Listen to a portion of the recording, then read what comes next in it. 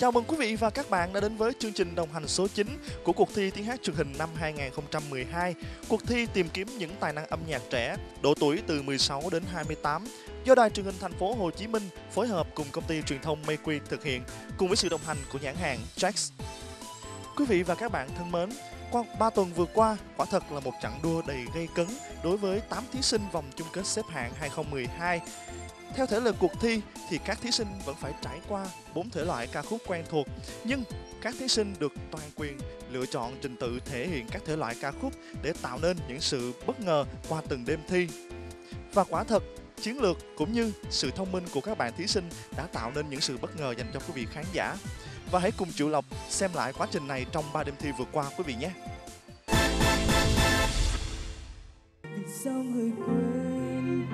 Trong đêm thi đầu tiên, đa phần các bạn đã chọn dòng nhạc cách mạng và dòng dân ca mang âm hưởng dân gian để mở đầu chặng đua. Duy chỉ thí sinh Vũ Minh Trang chọn thể hiện theo phong cách mộc với ca khúc Núi Tiếc.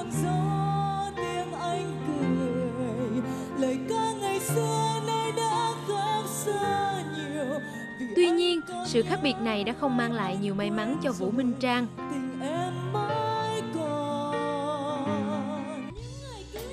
Ở đêm thi này, Lưu Hiền Trinh với sự lúng liếng dễ thương thể hiện đúng tinh thần ca khúc Cặp Ba Lá, một ca khúc mang âm hưởng dân gian đã giúp thí sinh này nhận được số điểm cao nhất từ bốn vị giám khảo.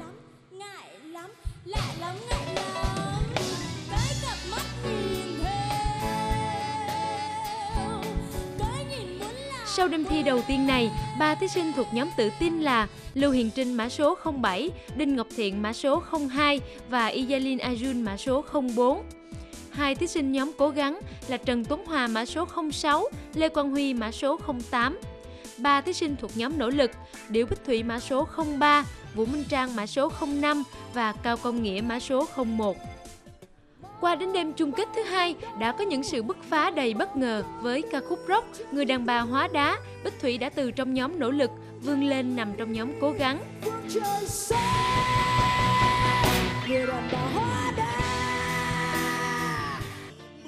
Thí sinh Trần Tuấn Hòa cũng từ trong nhóm cố gắng đã vươn lên để nằm trong nhóm tự tin khi điểm số bằng với thí sinh Đinh Ngọc Thiện.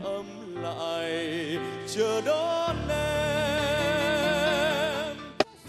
Trong đêm thi này, thí sinh Cao Công Nghĩa và Vũ Minh Trang cũng đã để lại nhiều ấn tượng cho khán giả khi thể hiện được cá tính của mình. Cao Công Nghĩa với phần vũ đạo đẹp mắt trong từng ngày dài. Và Vũ Minh Trang với chất giọng ngân nga, lúng liếng đậm chất dân gian đương đại trong ca khúc Phật bà nghìn mắt nghìn tay. gõ một gõ một sau hai đêm thi đầu, thí sinh nhóm tự tin là Lưu Hiền Trinh mã số 07, Yelin Ajun mã số 04, Đinh Ngọc Thiện mã số 02 và Trần Tuấn Hòa mã số 06. Hai thí sinh thuộc nhóm cố gắng, Lê Quang Huy mã số 08 và Điểu Bích Thủy mã số 03. Hai thí sinh thuộc nhóm nỗ lực, Vũ Minh Trang mã số 05 và Cao Công Nghĩa mã số 01.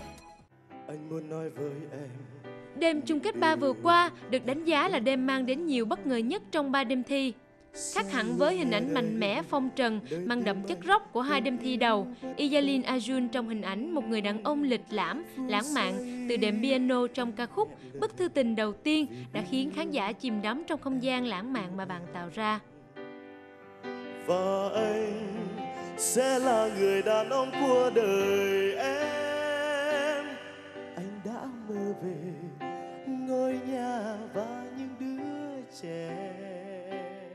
Sự thể hiện này đã giúp Iselin giữ vững vị trí trong nhóm tự tin trên con đường đời em có nghe mùa đông những ngọn đèn vàng anh nhớ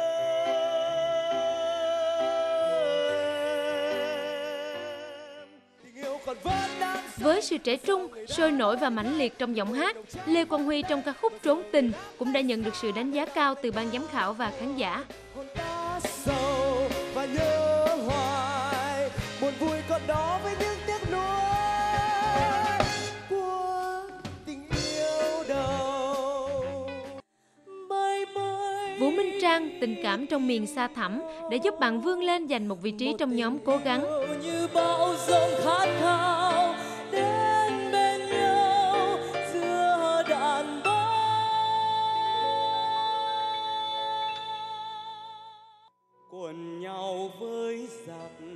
Hoán đổi vị trí cho Vũ Minh Trang, thí sinh Đinh Ngọc Thiện với ca khúc Tấm áo chiến sĩ mẹ vá năm xưa chưa nhận được sự đánh giá cao từ ban giám khảo, làm ảnh hưởng không tốt đến vị trí mà bạn đã có được trong hai đêm thi đầu.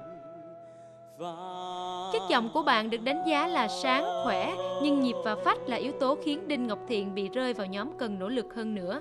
Tấm mau ơi bấy lâu nay con quý hơn cơm gạo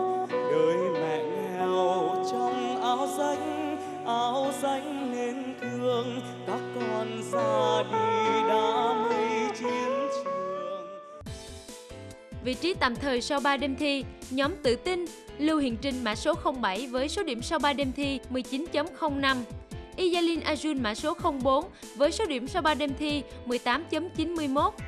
Trần Tuấn Hòa mã số 06 với số điểm sau 3 đêm thi 18.89.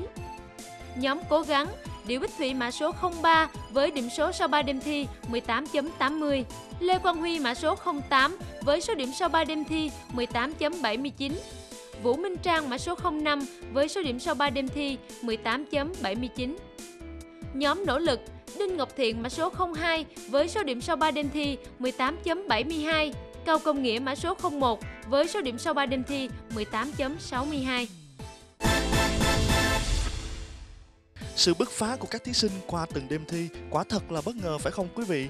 Chính vì thế, thứ tự như trên chỉ là tạm thời mà thôi. Bây giờ, hãy xem các bạn thí sinh của chúng ta nói gì trước đêm thi chung kết thứ tư diễn ra quý vị nhé. À, rất là may mắn vì công nghĩa đã được uh, vinh dự đặt chân đến uh, thăm các chiến sĩ Trường Sa hai lần cho nên công nghệ có thể cảm nhận rõ hơn về tình cảm cuộc sống cũng như là sự hy sinh của các chiến sĩ và đến với đêm chung kết thứ tư này công nghĩa sẽ dành tặng riêng một ca khúc để tặng cho các anh cũng như là lời cảm ơn chân thành nhất. Và cho dù kết quả có như thế nào thì công nghĩa vẫn sẽ theo đuổi giấc mơ âm nhạc của mình. Qua đêm thứ ba vừa rồi Ngọc Thiện à, cảm thấy hơi buồn bởi vì Ngọc Thiện à, không à, được thể hiện hết cái cái khả năng của mình. Um, nhưng mà dù sao thì Ngọc Thiện vẫn vui vẻ.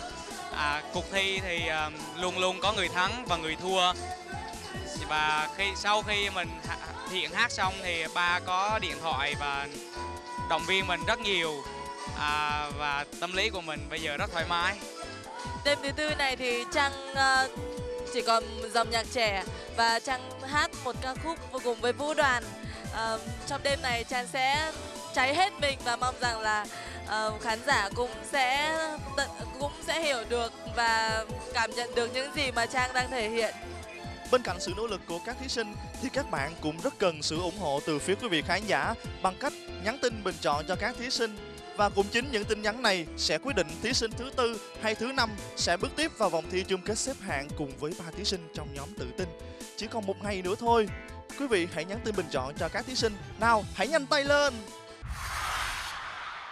Bắt đầu từ 21 giờ mỗi tối thứ sáu, tổng đài nhắn tin 8483 sẽ chính thức tiếp nhận tin nhắn bình chọn cho các thí sinh.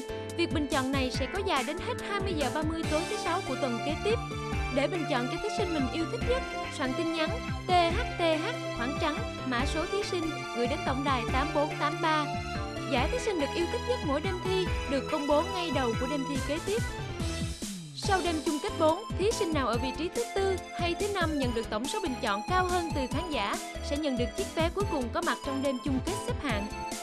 Tham gia nhắn tin, quý vị khán giả có cơ hội là một trong hai khán giả may mắn nhận được 3 triệu đồng tiền mặt hàng tuần.